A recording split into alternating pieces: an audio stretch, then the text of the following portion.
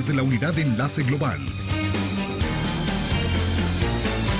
Estamos de regreso con más información. ¿Qué le puedo decir, por cierto, en el arranque a clases, cuando muchos papás están con la dificultad para comprar listas escolares, te encuentras con que pues el dólar está pegando duro a los bolsillos. Los comerciantes también ya manejaron una posición y Parla Rico nos tiene el detalle. Parla, buenas tardes.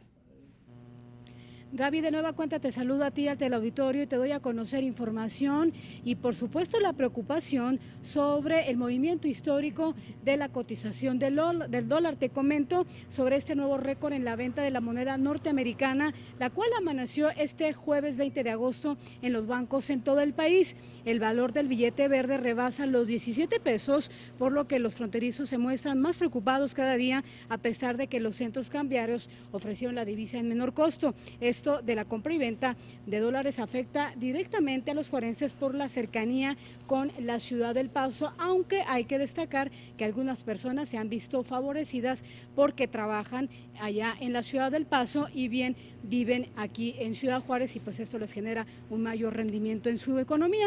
Ante esta situación, el presidente de la Cámara Nacional de Comercio, la Canaco, Alejandro Ramírez Ruiz, considera que habrá pérdidas tanto para los negocios como para las familias, ya que estos ajustes en la moneda pudieran derivar de una inflación y tener una inflación. Incluso algunos eh, pues, propietarios ya de negocios comentan que tienen que hacer ajustes en sus precios y con el dólar a 17, a 17 pesos, Gabriela, en bancos, insiste Ramírez Ruiz, que el Banco de México y Hacienda tiene que actuar de inmediato, ya que perjudica de gran manera a la ciudadanía, a los fronterizos, por lo que está pidiendo la intervención urgente, Gabriela, del gobierno federal. Otra de las situaciones que ha prevalecido es que la ciudadanía está evitando acudir a hacer sus compras que por lo regular realizaba durante el fin de semana porque ya cambiar un, dólar, pues obviamente eso lo está haciendo más difícil para poder llegar al paso y asimismo hacer sus compras que normalmente realizaba. Según los analistas señalan que hay cuatro puntos importantes por los que está haciendo este movimiento. Gabriela. Las acciones chinas, esa es una de esas, que desplomaron y que refleja la frágil confianza de los inversionistas.